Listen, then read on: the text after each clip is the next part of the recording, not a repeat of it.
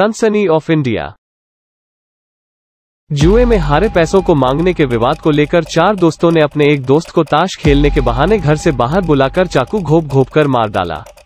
मृतक और सभी आरोपी एक साथ ताश खेलते थे। मृतक की पहचान 38 वर्षीय राजेंद्र कुमार उर्फ़ तम्भी और आरोपियों की पहचान 21 वर्षीय शिवा 32 वर्षीय एजाज 36 वर्षीय अयूब और 28 वर्षीय नरेंद्र के रूप में हुई है। मृतक और सभी आरोपी गोविंदपुरी के रहने वाले हैं। दक्षिण पूर्व जिला डीसीपी ईशा पांडे ने बताया कि दिनांक 6 नवंबर 2021 को थाना गोविंदपुरी में एक पीसीआर कॉल प्राप्त हुई।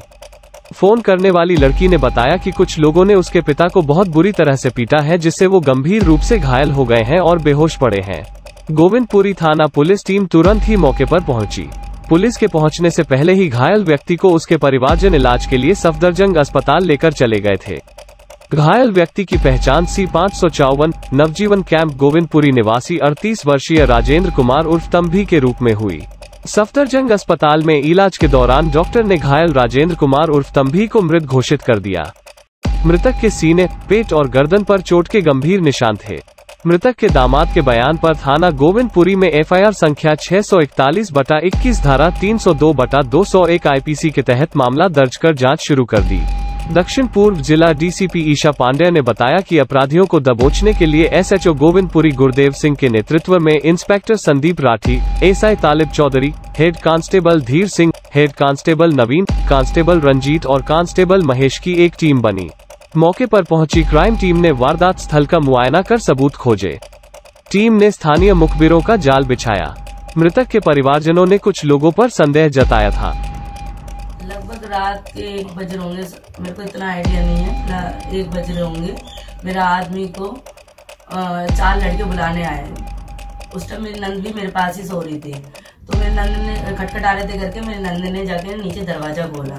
तो उसने बोला कि हाँ बहन, जरा भाई को बुला दो। बोलो, निरंजन आया करके। तो इसने कहा, इसने मेरे को आके उठाया कि, भाभी, देखो जरा कौन आया निरंजन आया निरंजन आया करके बोल रहे थे। तो इन्होंने बोला तो फिर मैं नीचे गई, नीचे देखा तो निरंजन आ रहा था। निरंजन ने बोला, और उसके साथ तीन लड़के और थे। तो निरंजन निरंजन ने बोला कि, भाभी, जरा भाई को उठा दो, कोई ज़रूरी काम मैंने भाई, वो तो सो रहे हैं। अरे, कोई बात नहीं, भाई, भाभी, उठा दो ना। कोई बात नहीं, आप एक बार उठा दो करके, ऐसे बोला। मैंने चला ठीक है, मैं उठा देती ऊपर गई, मैंने इसके पापा बोला, जरा देखना, निरंजन आया, कोई ज़रूरी काम है करके बोल रहा है। तो नीचे गए तो नीचे जाने के बाद फिर मेरे आदमी ने बोला, कादू, तू कुंडी लगा ले।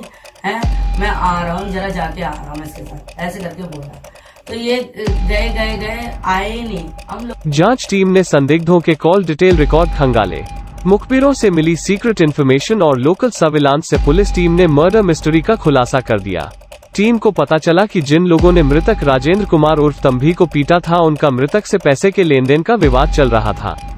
मामले का खुलासा करने और आरोपियों को दबोचने के लिए पुलिस टीम ने दिन रात एक कर दिया। आखिरकार जाँच टीम की मेहनत रंग लाई। पुलिस टीम को पता चला कि कुछ दिन पहले जुए में जीते पैसों को लेकर मृतक राजेंद्र कुमार उर्फ़ तंभी और सस्पेक्ट शिव के बीच काफ़ी गर्मागर्मी हुई थी। शिव ने मृतक राजेंद्र को देख लेने की धमकी दी थी। टीम ने सस्पेक्ट शिव के मोबाइल को सर्विलांस पर लगा दिया।